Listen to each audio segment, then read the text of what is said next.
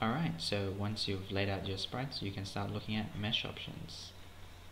So by default, when importing a sprite onto scene, you'll be given a quad.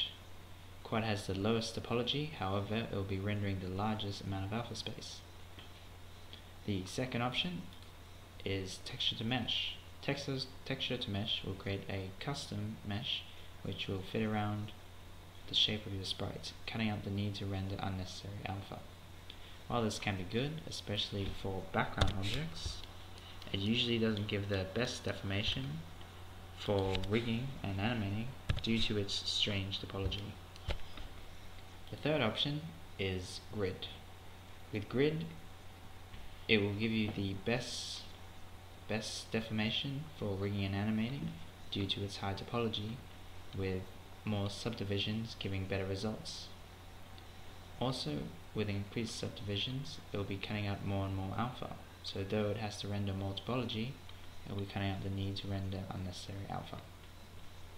So that's it for the mesh options.